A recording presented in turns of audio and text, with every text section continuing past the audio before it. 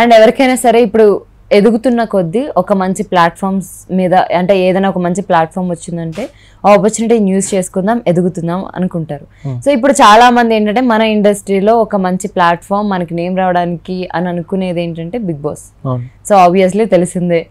So Bigg boss అనే opportunity ఎవరైనా వస్తే తీసుకుందాం. ఇప్పుడు ఆపర్చునిటీ వస్తే తీసుకుందాం అని అనుకుంటారు. బట్ అసలు బిగ్ బాస్ మీద మీకున్న జెన్యున్ ఒపీనియన్ ఏంటి? అది ఒక రియాలిటీ షో అండి.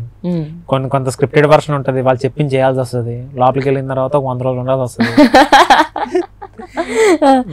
మీలాంటి పర్సనాలిటీ లోపలికి వెళ్ళినప్పుడు ఎలా ఉంటుంది అనేది? ఏ నేను వెళ్ళాలిగా ఫస్ట్. మా ఛాన్స్ వచ్చినా కూడా వెళ్ళను అసలు నేను. వద్దులేండి మనకి ఎందుకులేండి అయ్యో. వద్దులేండి మనకి వంద రోజులండి వంద రోజులు ఇక్కడ నేను చాలా చేయొచ్చు ఇక్కడ ఊర్లో ఉంటే. అవును అంటే అందరికీ నేను తెలిసిపోతాను. సో ఇంకా ఎక్కువ పీపుల్కి రీచ్ అయిపోతాను. అలా అనుకోవడం కూడా కరెక్ట్ కాదని నా ఫీలింగ్ అందరికి తెలియడం అంటే లోపల కొన్ని ఉంటాయి కొన్ని కొన్నిసార్లు గొడవలు జరుగుతాయి. అది పొరపాటు నా మీద బ్యాడ్గా వచ్చింది అనుకోండి బయటకు వచ్చింది నేను బొరబాదుకోవాలి అరే ఆ రోజు వాళ్ళు ఎందుకు చేశారు నువ్వు? అని అడిగిన అడుగుతారు ఒక కొన్ని వేల మంది అడుగుతారు.